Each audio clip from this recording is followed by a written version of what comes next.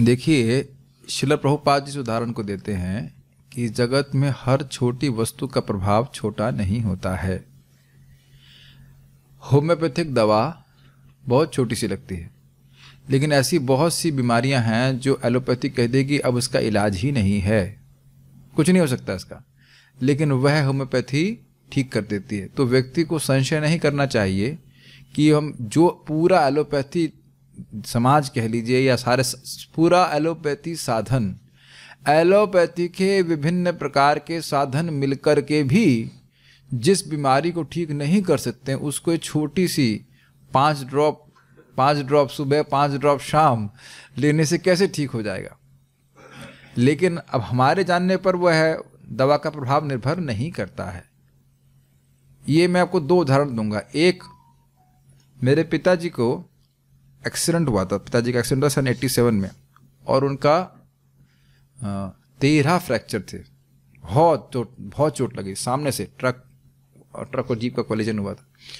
तो उनके नाक का खून नहीं रुक रहा था। सारा रुई लगा दी, सब कुछ कर दिया। तो किसी ने, अब किसी होम्योपैथिक डॉक्टर के पास गए, और वो दवा लेकर के उनने दी, कुछ दवा दी होगी। तो एक ही रात्रि में रुक गया। कुछ घंटों में ही खून रुक गया। और देखने में क्या लगता है तो पानी है। और आप सारी दवाएँ देखेंगे, जैसी लगती है, लेकिन वो पानी जैसे पानी पानी लग रही है। और मैं अपना उदाहरण देना चाहता हूँ, जैसे अब आप लोग देख ही रहे होंगे यहाँ पे, एक मैं वॉर्ड दिखाऊँगा अपने हाथ में। दिख रहा है ना आपको यहाँ पे वॉर्ड दिख रहा है आपको यहाँ पे वॉर्ड वॉर्ड मैं जानबूझ करके, मैं झूठ नहीं बोला झूठ बोलने के लिए बैठा नहीं वहाँ पे। और यहाँ पे शायद आपको निशान दिखाई पड़ रहे हो कुछ ऐसे हल्के से कटे रहे मेरे कट्स तो यहाँ पे मेरे वॉट वॉट समझते मस्से टाइप के हो गए थे, और बड़े मोटे मोटे से होते हैं, एकदम बहुत टाइट तो एक हो गया, हमने कटवा दिया। फिर उसके बगल में उसका छोटा भाई भी हो गया। वो उसको भी कटवा दिए, पाँच सौ रुपये खर्च हुए। बड़ा कष्ट तो नहीं लेकिन थोड़ा तो काटा पेटी हुई। फिर तीसरा उसका पैदा हो गया। हमने ये क्या हो रहा है? और एलोपैथी में से कोई इलाज नहीं है। तो हमने कहा, ये तो होगा, ऐसे ही कटवाते रहे तो हार्ट में जगह जगह हम हाथ में ही कट जाएगा, फिर कहीं और शरीर में निकल सकता है। बड़ा भद्दा लगेगा देखने में। तो मेरी माता जी के एक मित्र हैं माता जी थी, वो भी होम्योपैथिक, ज़्यादा कुछ नहीं जान रही थी, बहुत ज़्यादा होम्योपैथिक नहीं जानी थोड़ा बहुत ही होम्योपैथी जानती थी वो। कोर्स कोर्स कर लिया था उनने तो उन्होंने बताया कुछ मेडिसिन मुझे अभी नाम भी याद नहीं, तीन मेडिसिन बताई, उनको खर्च नहीं कर पाया मैं, और सब गायब हो गए। इधर वाला जो हो रहा था वो भी गायब हो गया वाले तो मैंने कटवा दिए थे, और बाकी जो हो रहा था वह भी सब समाप्त हो गया। और एक बार तो ऐसा हुआ था कि हम अब देख रहे हैं, जड़ से समाप्त हो गया, अब दोबारा कभी हुआ ही नहीं। मैं समझता हूँ दस बारह साल पुरानी घटना होगी। और इस वार्ड से मैं ज़िंदगी भर ज़िंदगी भर तो नहीं, कम से कम बीस एक साल से तो मैं परेशान था। कुछ जानबूझ कर मैं सब बातें बोल रहा हूँ एग्ज़ाम्पल दे रहा हूँ। ये चुपका हुआ था वर्ड, ये अनर्थ चुपका हुआ था, जा ही नहीं रहा था। तो उसके कहना से आप एलोपैथी हम मुक्ति नहीं करा सकती है, उसको तो आपको कुछ नहीं करना कटवाते रहिए, करते रहिए, वो करते रहिए। लेकिन होम्योपैथी से ठीक हो गया। तो हम तो अपने जीवन में देखें, आप लोगों के जीवन में सभी हुआ होगा। कई बार ऐसा होता है, बुखार होता है, कुछ दवा ले ली थट से सही हो गया। तो देखने में छोटी लग रहा है इसका अर्थ यह नहीं है कि उसका प्रभाव छोटा होगा। इस संबंध में लोगों को बड़ा संदेह हो जाता है हरिनाम के संबंध में। कि भाई, जो मुक्ति अब कई कई जन्मों की साधना के बाद और बड़ी गंभीर साधना के बाद नहीं मिलती, वो कैसे नामाभास से प्राप्त हो जाती है? जबकि शास्त्र क्या बोलता है? नामाभास से अजा मिलो वैकुंठ केला रे। कली युगे नामाभास से सहज मुक्ति हिला रे। कलयुग में तो नामाभास से ही बड़ी आसानी से मुक्ति प्राप्त हो जाती है। और प्रमाण अजामिल है। आप जानते हैं कि अजामिल अपने बच्चे को बोला था, नारायण, अपनी माँ की गोद से मेरी गोद में आ जाओ। ऐसे अनंत जन्मों के पापों से उसका उद्धार हो गया। और यही नहीं हुआ कि खाली पापों से उद्धार हुआ अपितु हम श्लोक बोलते भी हैं, इयाय मुक्तिम, एतावताल मघ निर्हरणाय पुंसाम संकीर्तनम भगवतो गुणकर्म नाम नाम विकृष्य पुत्र मघवान यदजामिलोपि नारायणे तिम्रियमाणमियाय मुक्तिम एतावता अलम। एतावत इतना ही अलम पर्याप्त है। क्या पर्याप्त है? किस चीज़ के लिए? एतावतावल अलम एतावतालमघ अघ निर्हरणाय जीवों के पाप नष्ट करने के लिए। अघ मतलब पाप पाप को नष्ट करने के लिए इतना पर्याप्त है। क्या? संकीर्तनम भगवतो गुण कर्म नाम नाम भगवान श्री कृष्ण के, भगवत मतलब भगवान श्री कृष्ण के संकीर्तन करने से। क्या संकीर्तन करने से? गुण, कर्म, नाम। कृष्ण का गुण बोल रहे हैं। जैसे ये श्लोक भी कृष्ण का गुण है कि कृष्ण का गुण बोलने से ही सारे पाप नष्ट हो जाते हैं। कृष्ण का गुण नहीं है। ये श्लोक भी पाप नाश करने में पर्याप्त है। समझ पा रहे हैं बात को? ये कृष्ण का गुण है। उसके बाद कर्म।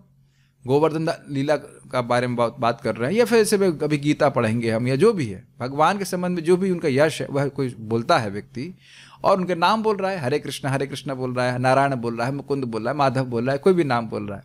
तो ये पर्याप्त है मतलब और कुछ करने की ज़रूरत नहीं है, जैसे कि मैं होम्योपैथिक मेडिसिन ले रहा था, वो अपने आप ही वार्ड को पूरा समाप्त कर देगा, जड़ से ही। जड़ से ही वार्ड को समाप्त करने की क्षमता है। आप थोड़ा सा वो बैठ जाएँगे शांति से। तो जड़ से ही वर्ड को समाप्त करने की क्षमता है, ये मैं बोल रहा हूँ। कर, जड़ से समाप्त हो गया ना, जड़ से समाप्त हो गया, जड़ पे मैं फोकस कर रहा हूँ, जड़ से समाप्त हो गया। है और क्या करें? पाँच पाँच ड्रॉप सुबह पाँच ड्रॉप शाम, पाँच ड्रॉप सुबह नहीं, सारी पी जाऊँ क्या मैं बोतल एक बार में, नहीं नहीं, पाँच ड्रॉप सुबह पाँच ड्रॉप शाम, पाँच ड्रॉप सुबह पाँच ड्रॉप शाम। मेक सेंस वेरी सिंपल बहुत सिंपल है। हम बात क्या कर रहे थे? हाँ संकीर्तनम भगवतो गुणकर्म नाम नाम। उसके बाद कहते हैं प्रमाण दीजिए कहते हैं विकृष्य पुत्र भगवान विकृष्य बोल रहा था चिल्ला रहा था क्या? पुत्र। अपने पुत्र को बुला रहा था भगवान का नाम भी नहीं बोल रहा था। यह भी जान के नहीं बोल रहा था कि मैं भगवान का नाम बोल रहा हूँ। विकृष्य पुत्रम अघवान और क्या कैसा था? अघवान। कोई शूद्र पापी नहीं था।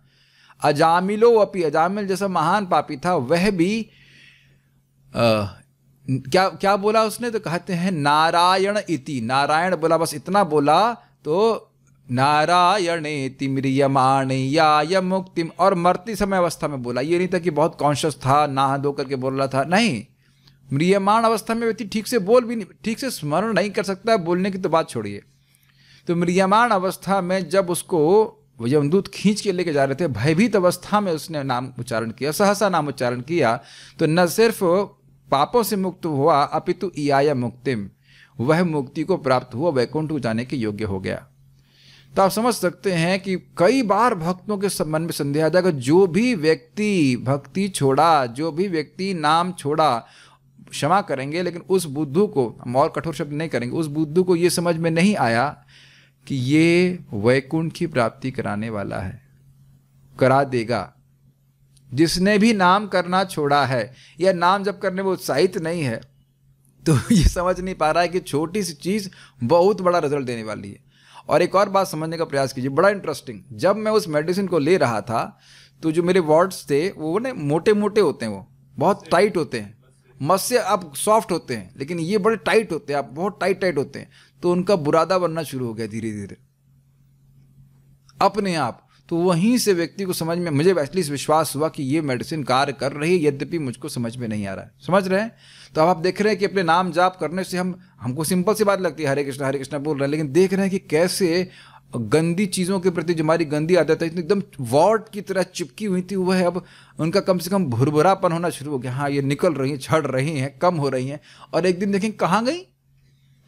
जड़ से ही निकाल के फेंक देगा, और इसी बात को रूप गोस्वामी जी कहते हैं तदगद मूल हंत्री या विद्या को मूल से ही खींच के खत्म कर देगा। क्या यह भगवान का नाम, यश इत्यादि? तो ये बुद्धिमान व्यक्ति को इनका आश्रय लेना ही चाहिए।